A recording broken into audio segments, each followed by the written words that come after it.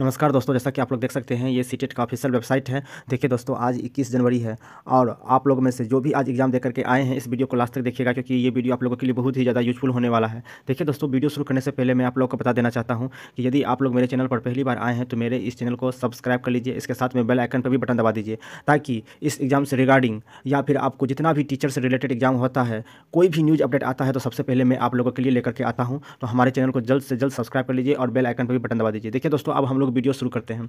देखिए दोस्तों, आप लोग को तो मालूम ही होगा कि आज एग्ज़ाम था, बारह बजे आप लोगों का एग्ज़ाम खत्म होता है। तो जैसे ही आप लोगों का एग्ज़ाम खत्म हुआ तो आप लोगों में से बहुत सारे जो स्टूडेंट हैं, सो मुझको फ़ोन करके, मैसेज करके बोलने लगे कि, सर, क्या इसका पेपर लीक हो गया है? क्या इसका एग्ज़ाम फिर से होगा? इसका जो एग्ज़ाम है, सो कैंसिल हो जाएगा? तो मुझे लगा कि आखिर ऐसा स्टूडेंट क्यों कर रहे हैं? जब मैं जाकर के सर्च किया तो सोशल मीडिया पर मैं एक चीज़ वायरल होने लगा था, जिसमें ये चीज़ का दावा किया जा रहा था कि आज का जो सीटेट का एग्ज़ाम हुआ है, वो जो है पेपर लीक की वजह से कैंसिल होने का संभावना है, पेपर लीक हो गया है। इस तरह का पूरे सोशल मीडिया पर मैं आपको अफवाह फैलने लगा। जब मैं इसका जाँच किया। तो फ़िलहाल इस तरह का कोई भी जो आपको मतलब कि चीज़ है, हुआ नहीं है। आप लोग का एग्ज़ाम बहुत अच्छे तरीके से हुआ है और इसका कैंसिल होने का कोई भी संभावना नहीं है। तो आप लोग टेंशन में नहीं आइए, इसका एग्ज़ाम कैंसिल नहीं होगा।